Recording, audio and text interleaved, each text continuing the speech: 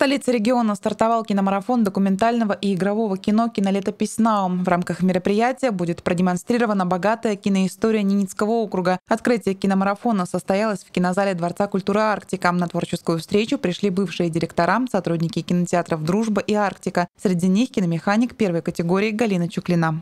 А у нас в «Дружбу» сколько народу ходило. А лишнего билетика нет у вас? А лишнего билетика нету, спрашивали. Это потом, конечно, был спад в 90-е годы, и то мы выстояли. Мы же не развалились, мы, э, кинотеатр не ушел куда-то.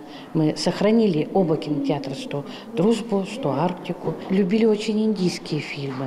Вот на индийские фильмы люди всегда ходили. И наши советские фильмы тоже очень люди любили. А какие именно? Ой, я даже не могу вот сейчас быстренько вспомнить. Любовь и голуби. Ох, ой, это было вообще что-то невозможное. Я решила один раз посмотреть, спуститься в зал, потому что в аппаратной все равно это шум, это пока работаешь, бегаешь с аппарата к аппарату, перематываешь, некогда. Ну, я пойду посмотрю. Я, я половины фильма я не слышала звука. Там стоял такой хохот, но иногда зрителям было не до смеха, особенно неискушенным зрителям. Для кочующих оленеводов кинопередвижки в 50-е и 60-е годы стали настоящим чудом света. Однажды, показывая в чуме звуковой фильм «Чапаев», впервые увидев на экране наступающую конницу, оленеводы так испугались, что выбежали на улицу и не вскоре вернулись досматривать фильм. Говорят, что оленеводов долгое время потом собирали по тундре. Этими и другими интересными фактами поделился еще один гость, пришедший на кинолетопись. Сергей Никулин в 1994 году возглавил объединенную дирекцию кинотеатров и киноустановок куда входили кинотеатр «Арктика», кинотеатр «Дружба», киноустановка э, в клубе лесозавода, киноустановка в клубе совхоза на Сахалине. Э, также у нас э, киноустановка в Доме культуры была, была киноустановка в зоотехникуме в первой школе. Из малого кинозала мы сделали видеозал, и э, с новой японской аппаратурой тогда это, конечно, был фурор для э, Нарьянмара. Очень интересный факт, что когда вот 10 лет назад отмечали 75 лет, в 2006 году посещаемость киноустановок в селах Ненецкого округа на душу населения занимала одно из первых мест в России. К этому лидерству округ шел начиная с 30-х годов. 70-е, 80-е прошлого столетия были наивысшим подъемом по работе со зрителями вокруг кино. Повсеместно организовывались кинопанорамы новых фильмов, кинолектории и клубы любителей кино. В центральных кинотеатрах особой популярностью пользовались в дни школьных каникул кинофестивали «Сказка». Особо отмечалась работа детских кинотеатров, где школьники имели возможность не только знакомиться с искусством кино, но и получали технические навыки и удостоверения юных кинодемонстрантов. Обучала детскому киноремеслу и и Прасковья Ворончихина. Потом я работала в школе интернат, там на этой аппаратуре тоже ребята работали. Угу. А он со звуком, да? Это со звуком, обязательно со звуком. И... Здесь только э, лампочки нет звуковой. Она у меня дома есть, я принесу им в музей, отдам. Угу. А здесь что, бобина, да, стояла? Здесь бобина. Угу. Здесь бобина, здесь наматывающая, угу. здесь уже наматывает. Здесь положим большую бобину, а это наматывает уже этот самый. А тяжело управлять таким аппаратом? Нет, это ну что, включишь, да и все.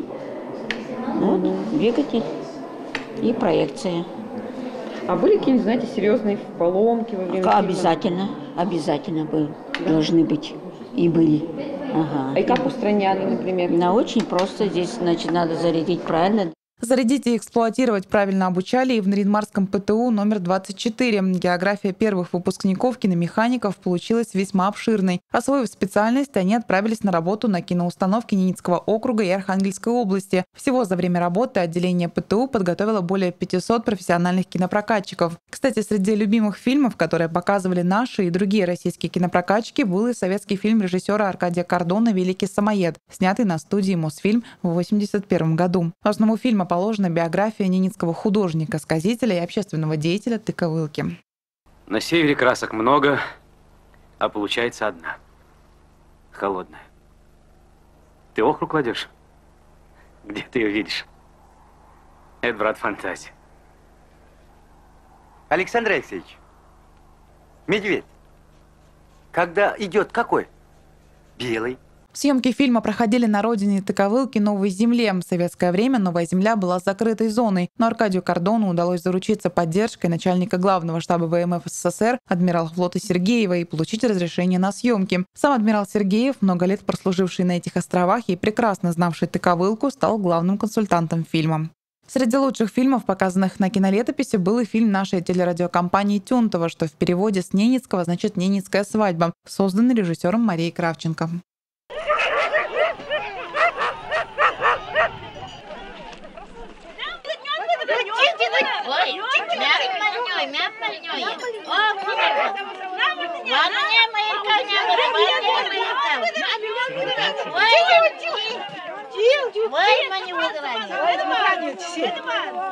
Собрать такие золотые фильмы, документальные материалы об округе и выдающихся людях в одну коллекцию – главная цель масштабного мероприятия.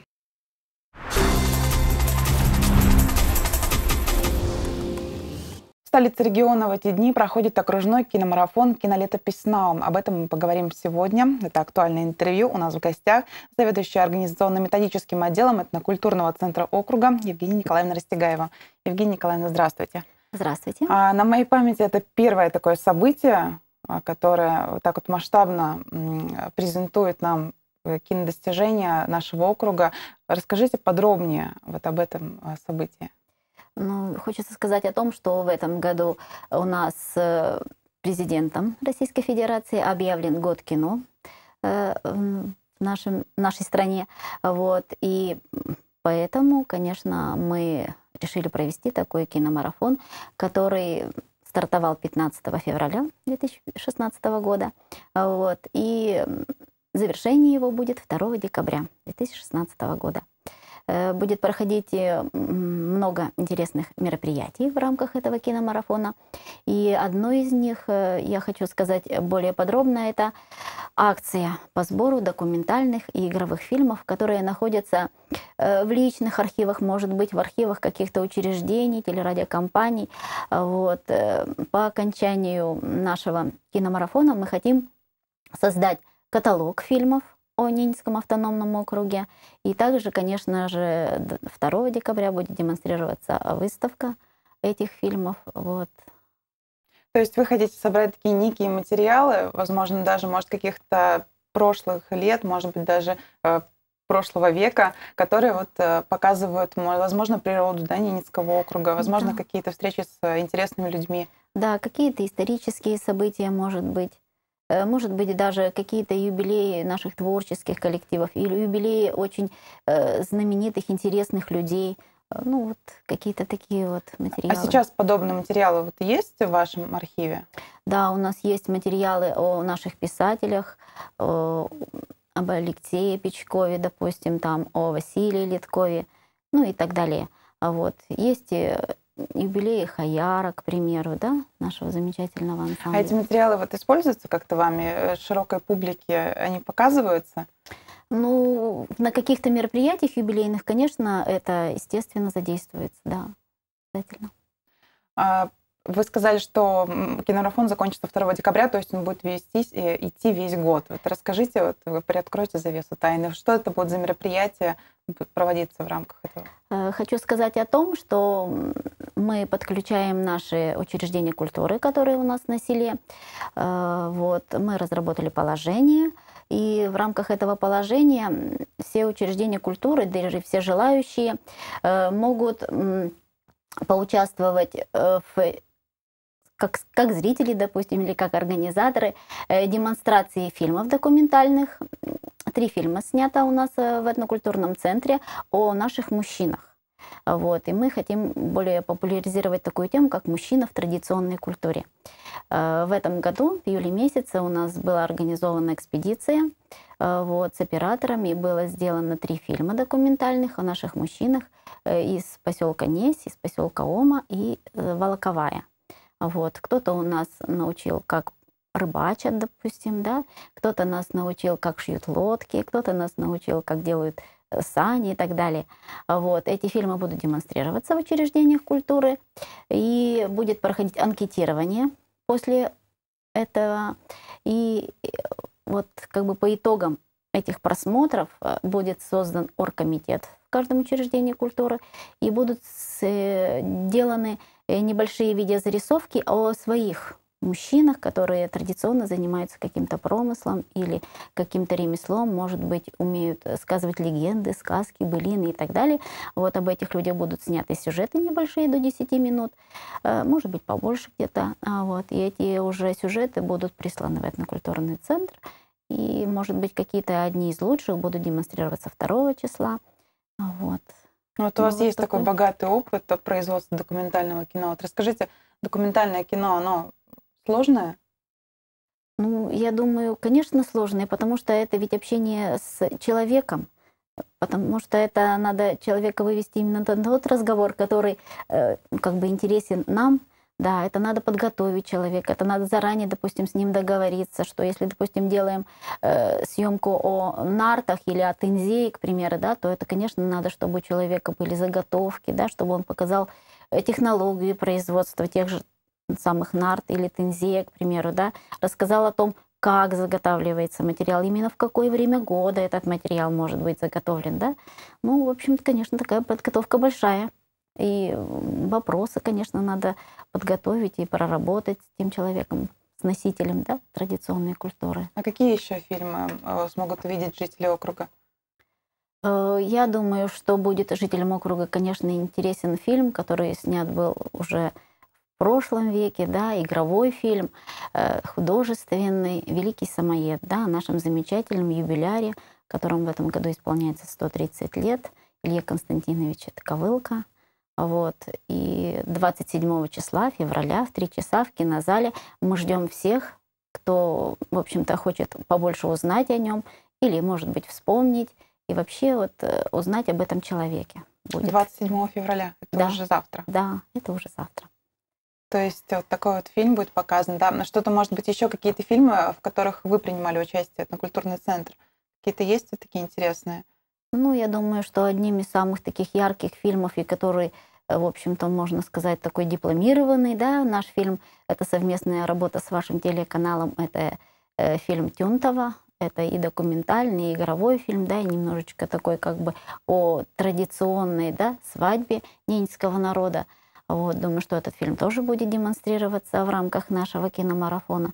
Вот эти фильмы документальные, которые мы будем демонстрировать в наших поселениях, тоже будут демонстрироваться 2 мая э, в кинозале Дворца культуры Арктика. Вот. 19 э, мая мы планируем встречу с, со специалистами кинофикации Ненецкого автономного округа. Кинофикации, конечно, сейчас уже не существует. Вот, а буквально... А можно подробнее, что такое кинофикация? Мне кажется, не все телезрители знают, что это. Эм, в 1931 году в Ненецком автономном округе, вот как из архивных данных, эм, была, начала работу первая киноустановка в селе Тельвиска. Вот, и с этого времени как бы считается, что э, с 19 марта вот идет отсчет кинофикации в Ненецком автономном округе. Были установлены киноаппараты большие, да, которые проецируют фильмы. Вот. Э, конечно же, был, были «Красные чума», где демонстрировались фильмы, передвижные киноустановки. И вот э, специалисты, которые работали с этим оборудованием, да, которые получали специальное образование в том же нашем ГПТУ, Э, вот. Было, была такая профессия, да? Да, есть, конечно, киномеханик. Вот. И вот эти люди, специалисты, которые работали в данной отрасли, соберутся 19 мая отметить 85-летие вот, своей профессии, так скажем, э, ну, в Ненецком автономном округе. Вот у меня есть данные, что более 500, э, по-моему, да, специалистов, киномехаников, кинопрокатчиков выпустило профессиональное училище. То есть я так понимаю, что все они работали на территории нашего округа. То есть в селах было очень широко развито э, вот, кинопоказ, да? Конечно, киномеханик очень э, был, как сказать, э, ценен такой, очень ценный был, да, кадр, потому что э, он же привозил поселение, да, и радость, и, и какие-то интересные фильмы. Это ведь не только были художественные, допустим, фильмы, но ведь перед каждым художественным фильмом был показ документального фильма обязательно, да, и они узнавали, что происходит в стране, когда телевидения еще не было, да, когда было кино популярно у нас. Вот, конечно, дух поднимал. Вот Ну, вопрос-то возникает и сейчас в селах, где будут смотреть документальное кино?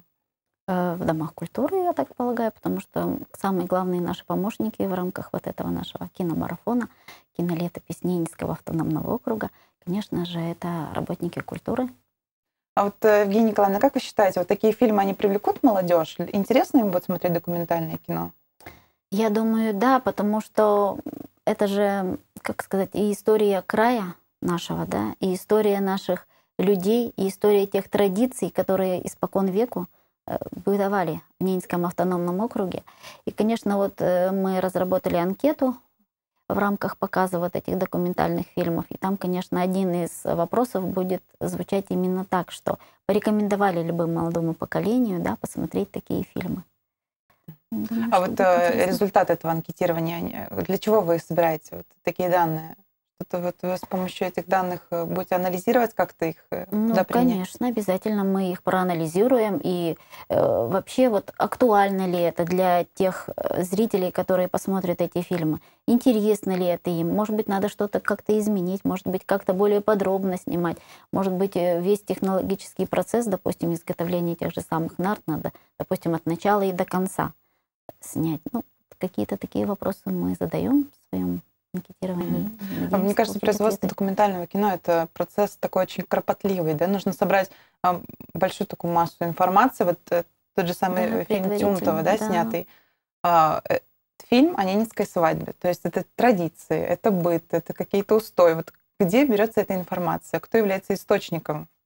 Но источниками, естественно, являются носители, да, той культуры, допустим, если это вот Тюнтова непосредственно, да, то это, конечно же, носители ненецкой культуры.